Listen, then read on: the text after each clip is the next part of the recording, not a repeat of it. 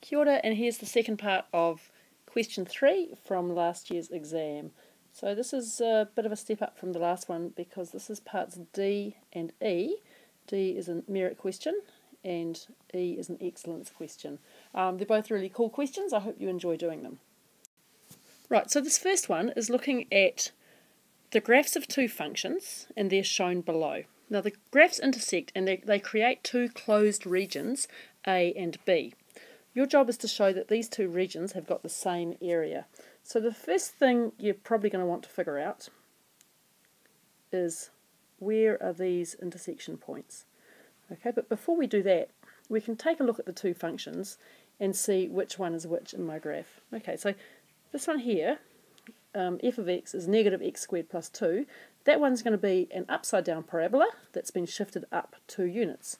So that's very good to look at first because that tells me that this point here is going to be um, 0, 2. Now, it also tells me that for this area here, for b, we're going to be wanting to work out the top function minus the bottom one, so that will be f of x minus g of x. And over here, it's going to be the other way around. It's the cubic above the quadratic. Okay, so now we just have to get on with equating f and g and solving for a value of x. So let's do that. We get negative x squared plus 2, this is f of x, equals x cubed minus x squared minus kx plus 2. So we can see pretty much straight away that a whole lot of stuff simplifies out. And we're left with x cubed minus kx equals 0. So factorising that, we get x into x squared minus k is 0, and we recognise that this is a difference of two squares. I'm not a particularly obvious one, not, not a kind of year 11 one, but we're going to get x equals 0, or let's look, x squared minus k equals 0. In other words, x plus root k times x minus root k equals 0. So that tells me that these three points are 0, which we already knew from before, or x equals root k up here, and x equals negative root k, which is down here. So what we're asked to show is that the regions A and B have got the same area. So I'm going to do that on the next slide. Alright, now I'm, hopefully you've sketched what we're looking at because I'm going to try and do it again, but the first one to sketch if you're doing this at home is do the parabola first and then, oh what a disaster, there we go. Let's try that. Hmm, I'm not sure that this is going to Right, we'll try that. Is that about right? I think that's good enough for what we're after. So this region here, B, we want to show is equal to A. Now obviously it doesn't look like it anymore. What we want to find is area A is going to be the integral from 0 to negative root k and this is g of x minus f of x dx and this one here is the integral from root k to 0, and it's the other way around. It's f of x minus g of x dx. Oh, Alright, so what we'll do next is we'll just pop in the values here. Um, so what's g of x minus f of x for area A? Well, g of x was my cubic, so it was x squared, x cubed minus x squared minus kx plus 2 minus negative x squared plus 2. So you might as well um, do your simplifying before you start scribbling down your integral. So that equals x cubed, and we've already seen this when we were solving, that we get minus x squared plus x squared plus 2 minus 2. So this is simply x cubed minus kx. So now we're ready to integrate that in here, and we're going to get from 0 to negative k, sorry, negative root k, of x cubed minus kx dx.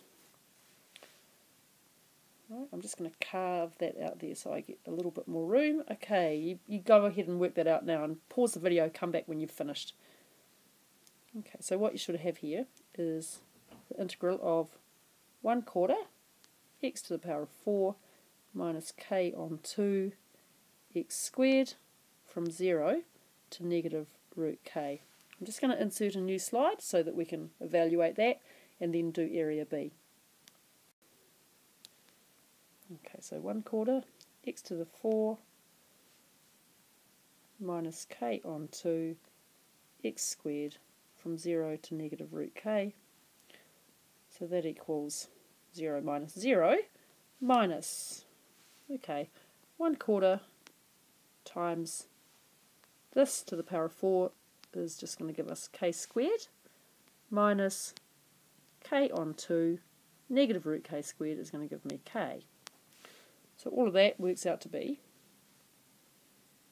0 minus a quarter minus a half of k squared. So it's minus negative 1 quarter k squared, which is just k squared on 4. So now what we've got to do is show the area B is the same thing. Now, this, right, so for this one the parabola is the top function, so it's negative x squared plus 2 minus the cubic like that. Right, simplifying out, we get the integral of negative x cubed plus kx dx, which gives us negative x to the 4 on 4 plus k on 2x squared root k 0 which is negative k squared on 4 plus k squared on 2, which again is k squared on 4 as required. So we've shown the two things are the same. Right now there are some smarter, shorter ways to do that problem um, involving what happens when I change the limits of integration. But I haven't done it like that here. I've done basically exactly what they did in the assessment schedule. So if you're interested in seeing another way to do that, you could ask me in class. Okay, now on to the excellence question. Okay, an object starts from rest and its acceleration is given by the formula A equals B times E to the kt squared. Um, we should read the question through first, but we should already be thinking that we can simplify that formula quite nicely. So A is the acceleration and T is the time in seconds from when it started moving and we, need, we have to show that the time it takes to get to a certain velocity, V naught, can be written as this formula. So what we're going to do is we're going to solve the differential, uh, sorry, solve the um, velocity equation for T. In other words, we're going to make T the subject of the formula. Right, so first of all, let's look at A. Well, A is equal to B times E the power of 2 kt. Right, how do I get velocity? Well, velocity comes from anti-differentiating acceleration. So we'll do that. And we get v of t is equal to, well the b is just going to sit there, b times 1 over 2k e to the 2kt plus c. Right, now we need some more information. Well, we know that t is the time from when the object started moving. So that's telling me that it started moving at time 0. So it wasn't moving at 0. So v of 0 is equal to 0. So we're going to use that to solve for the constant. So that's going to be on the next slide. So let's just recap. We've got to here, v of t is 1 over 2k b e to the 2kt plus c, and we've got v of 0 is equal to 0, and that's equal to 1 over 2k b e to the 0 plus c. So c is not 0 in here. b over 2k plus c equals 0. So c is equal to negative b over 2k. Now that tells me that my velocity at any time is equal to 1 over 2k, or b over 2k, e to the 2kt, minus b over 2k.